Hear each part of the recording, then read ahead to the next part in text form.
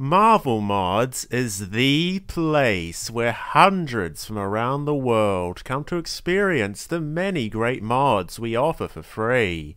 But some eventually become inspired and want to become modders themselves.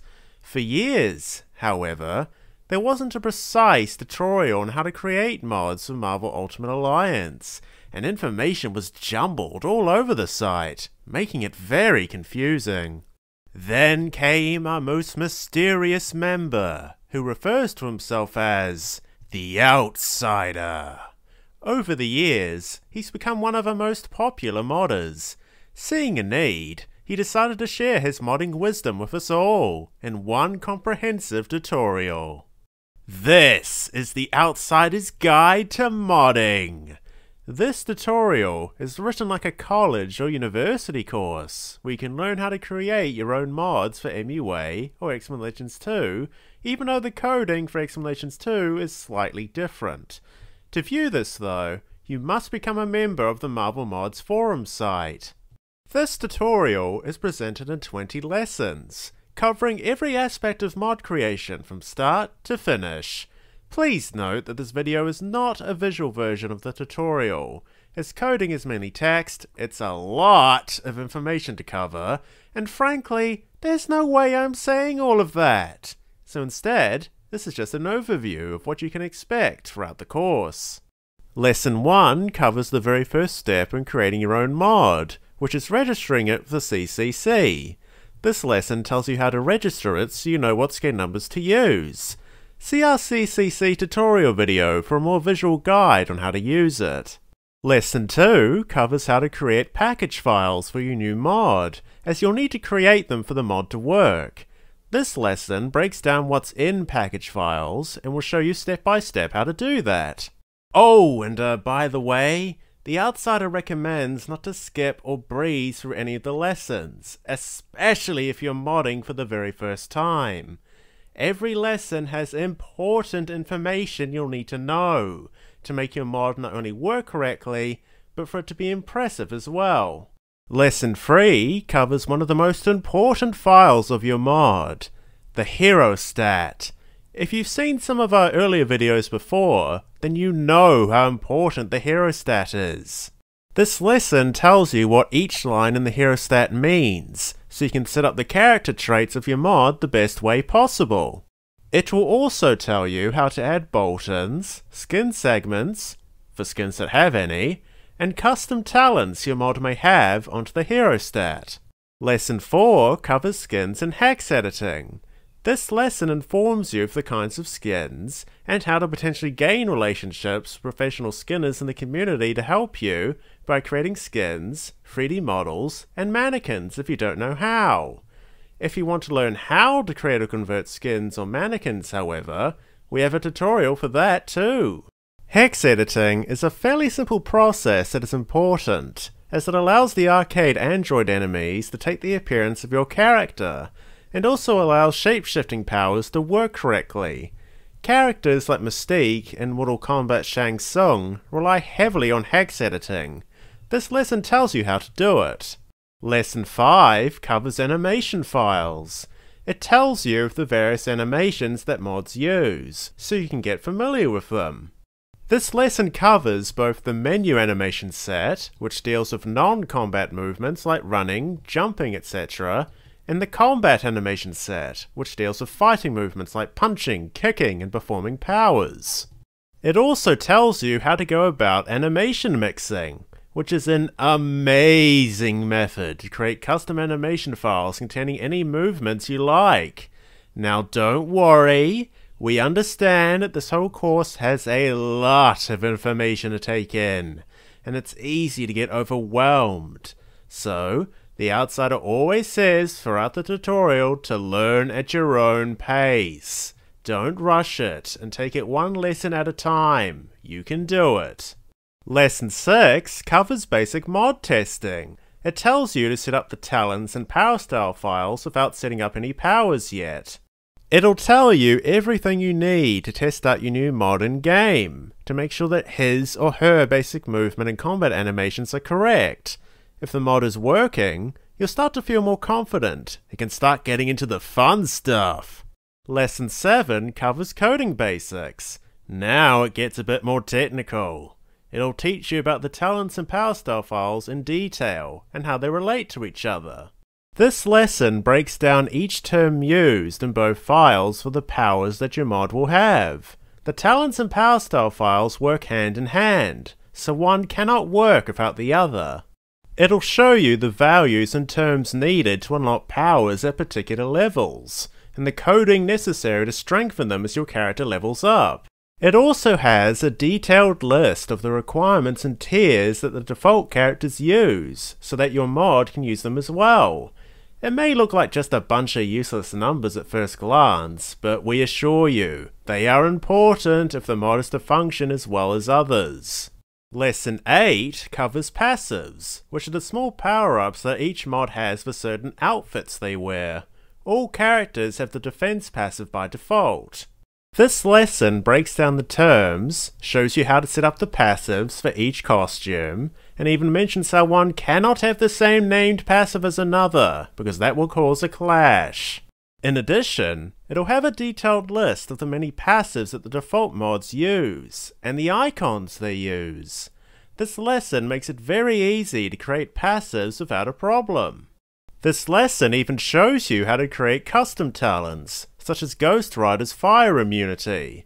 This will help in further customizing your mod and set it apart from others.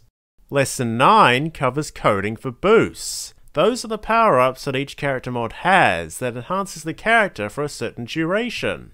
This lesson breaks down the coding of how boosts work, giving you a better understanding of how coding in general works. It'll even show you the various render FX auras you can use.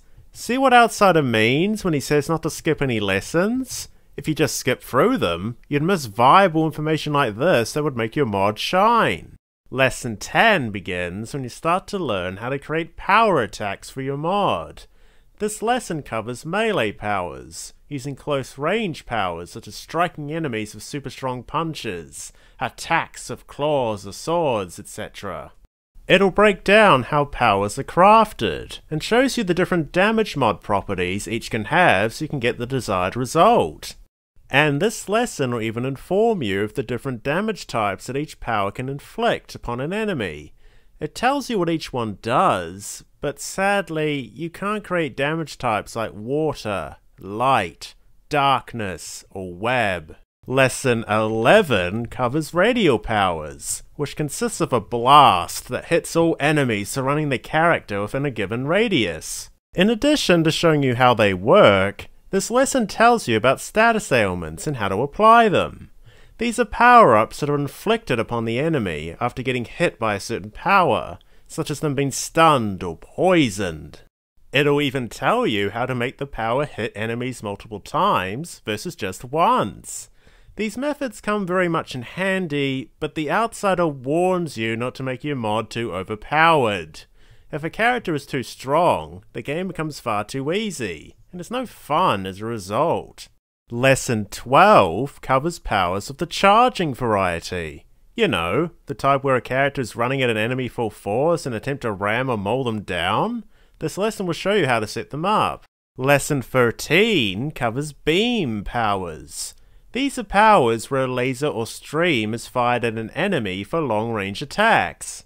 This lesson shows you how they work and tells you different properties you can add to them, such as making beams pierce through multiple enemies, or have them constantly fire for as long as a button is held. Lesson 14 covers powers of the projectile variety, such as fireballs, rockets, arrows, boomerangs, or throwing knives.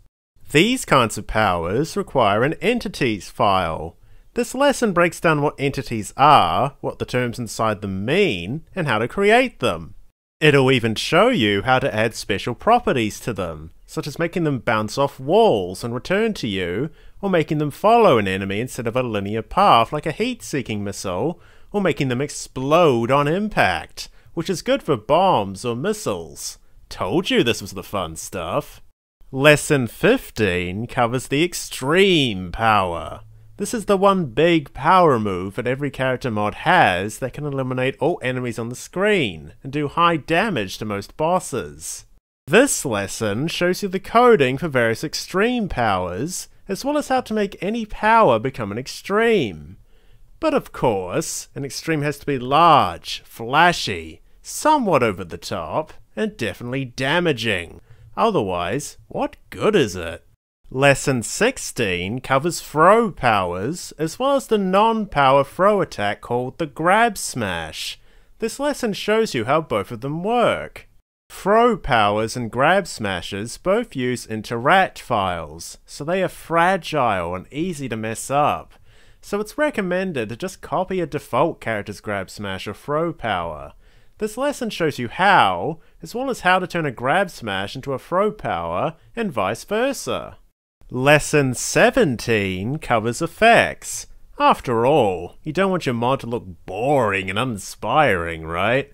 This lesson will help you make your mod more visually appealing. This lesson shows you the terms inside effects files, what some of them mean, explains the effects level, and more. It'll even show you how to change the size, origin, speed, and colors of any effects. It can become any color you want, including bright white or pitch black. And this lesson also shows you how to create custom textures like the Batman symbol or the Mortal Kombat Dragon logo on effects. You can even add effects onto characters when they're first selected at the character select screen, often called the team stage. Lesson 18 covers aesthetics, which are features that while not required to make it work, will make your mod look more professional for when people look to download your creation. This lesson comes in three small parts and shows you how to create each. The first is that of loading screens, which are screen-wide pieces of artwork displaying your character while the game is loading. The second is of HUDs, which are the portraits that show the face of your character in-game, and will appear when in conversation with an NPC. And the third is of icons, these are the small images that appear representing your character's powers and passives, as well as a banner for when displaying your mod at the team stage.